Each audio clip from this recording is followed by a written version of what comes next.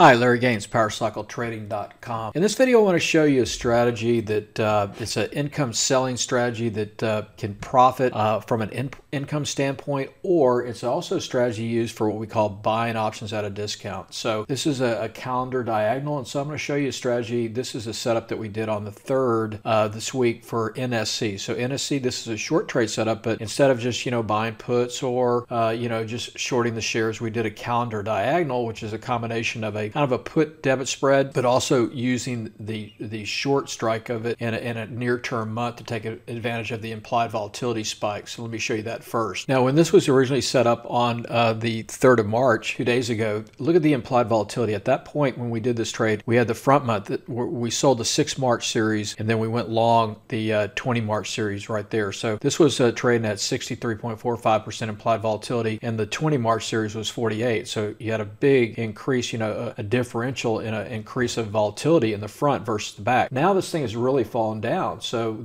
uh, currently today, as we look at it, you can see now the March 1st series is fallen to 52.9 and then the back is 55 and then you've got um, this next one is 55 as well. So we're starting to see the volatility on this particular stock kind of flatten out a little bit. So that's good because we were short the 6 March, long the 20. So let's take a look at spread and I'll show you what I mean by buying at a discount. So the original setup was buying this 20 March series where my pointer is the 180 put. Okay, so that's the long dated at $5.45. At the same time, then selling that 6 March short, short dated at 175. That was his 175 put at a $1.55 credit brought in. So, so long a 180, 175 looks like a put debit spread, but instead of being in the same series here, the 20 series, we put the short strike in the closer in series to take advantage of that implied volatility, elevated volatility that I showed you, and also theta decay is going to be a lot faster in this time frame. Right today it went out. This was up, you know, like over $350 just you know, because it was coming coming right in here to our target right there at 175. But what we can do is if, if you want to, you can then close out the 175. You can see that went from 155, it went out today at 130. All right, so you're